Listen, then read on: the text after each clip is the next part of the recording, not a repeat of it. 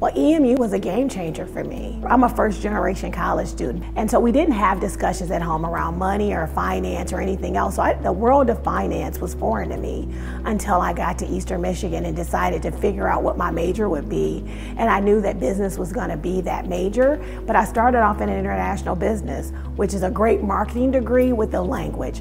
And once I took a couple classes, I realized what came really easy to me was accounting. And I graduated in 1992 with a bachelor's in business administration. And what I'm doing now is I'm the head of advancing black pathways for JP Morgan Chase. I'm responsible for addressing the racial wealth gap for black people in our country.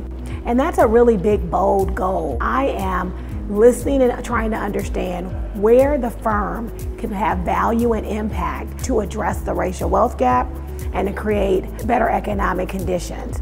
And we want to make sure that that access to capital and the tools that help people provide jobs for others is available to all communities.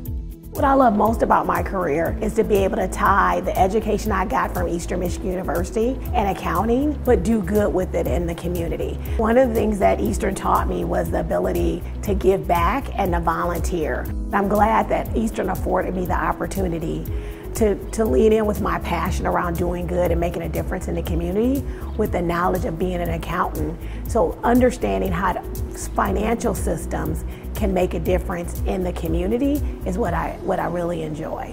Having an affordable education I could do in four years was really important to me. And then when I got on campus, there are two women that really made a difference, were like angels in my life that I met, Dr. Lynette Finley and Dr. Nora Martin. And they showed me what it would look like if I could actually accomplish this thing called education. Dr. Lynette Finley ran student services in the diversity and inclusion office.